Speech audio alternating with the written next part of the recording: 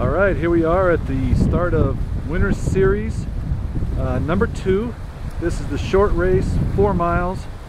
We're at uh, El Pomar Youth Sports Park in Colorado Springs, January 22nd.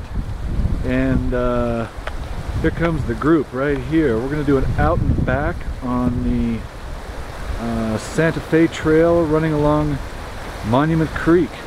And there are some great racers here top guys coming through. Way to go, guys!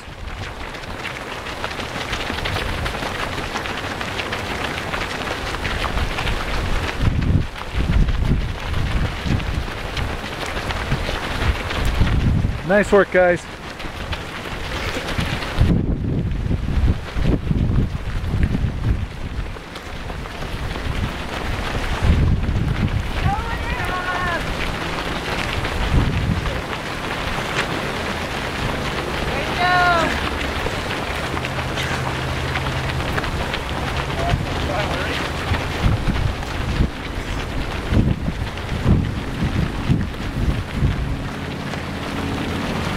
Good sized field here for the four miler. We're going to start the eight mile run in about 15 minutes. Get a video of that as well. It is a great sunshiny day. Runners are heading north. They'll turn around, come back the same way. Going to run into a little bit of a headwind on the way out.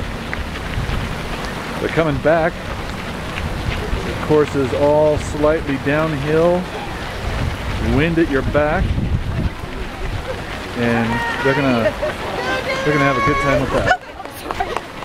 Way to go, guys! Good job, guys! Yeah. And this is where it's at, right here. These are the folks that inspire me the most. They're out there getting the job done. And it's not about winning.